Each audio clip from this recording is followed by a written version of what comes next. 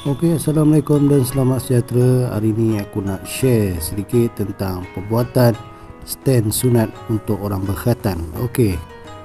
Jom kita tengok macam mana cara-cara untuk buat stand sunat ini.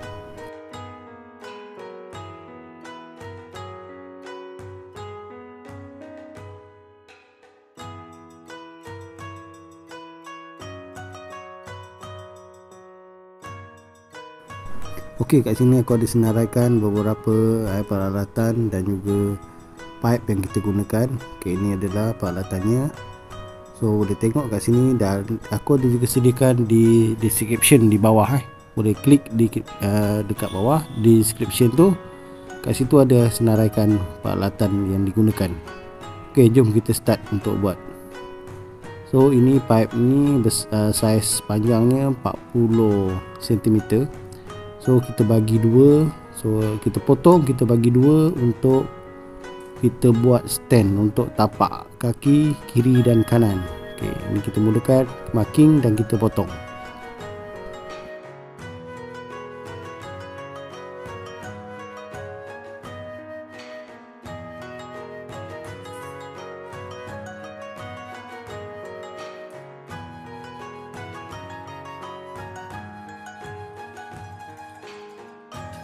Okey, untuk potong ni kita kena ada tools yang sesuai eh. Okey, so ini aku gunakan pemotong eh, pemotong uh, pipe cutter eh. So ini guna uh, aku gunakan pipe PVC yang kelas A ni eh, dia tebal. Ha, jadi uh, pipe ni bagus sebab dia kukuh bila kita buat stand tu dia akan kukuh. Jadi kalau sesiapa nak buat jangan beli pipe yang murah eh.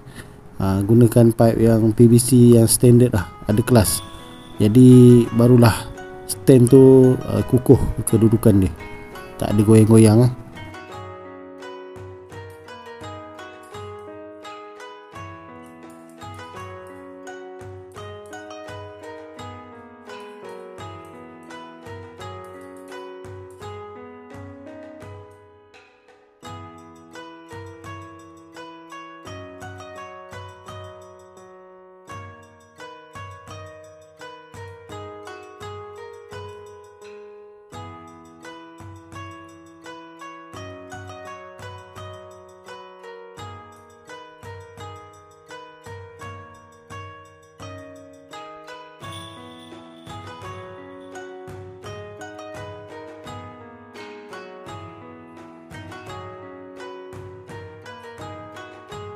Okey, beginilah uh, keadaan pipe yang telah dibagi dua.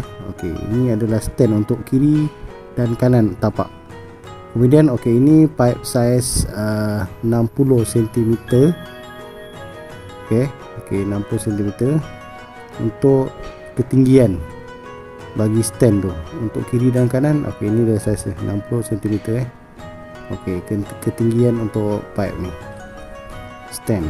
Okey, kemudian kita ambil okey pipe yang saiz 80 cm tadi.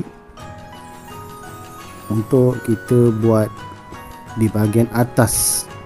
Okey ini adalah end cap. So kita tebuk end cap ini untuk pemasangan J hook eh. Okey. So kita tebuk menggunakan uh, peralatan tools yang sesuai.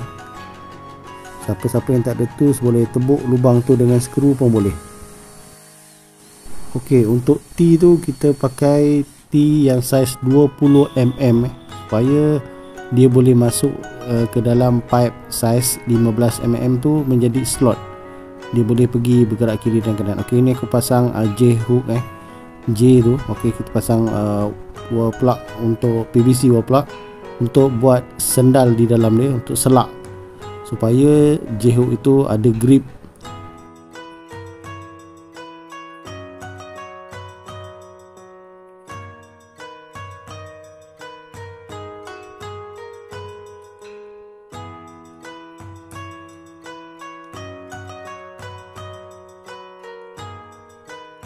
Okey, kita ambil T yang saiz 20mm tu dimasukkan ke dalam pipe uh, saiz 15mm.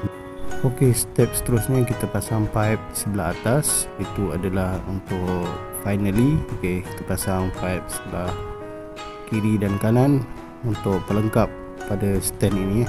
Okey. Okey, stand sudah siap. So kita boleh uji cuba guys.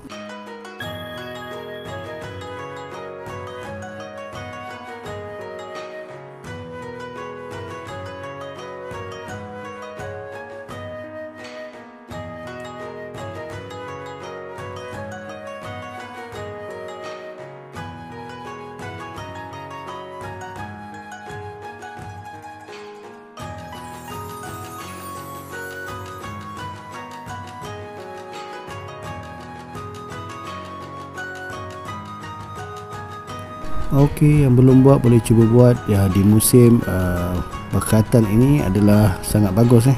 Kita cipta dan juga inovasikan sesuatu perkara. Okey, yang belum like, yang belum komen, yang belum share boleh buat semua sekali dan yang penting subscribe dan tekan butang lonceng pada channel ni. Okey. Selamat menonton. Assalamualaikum. Terima kasih semua. Bye.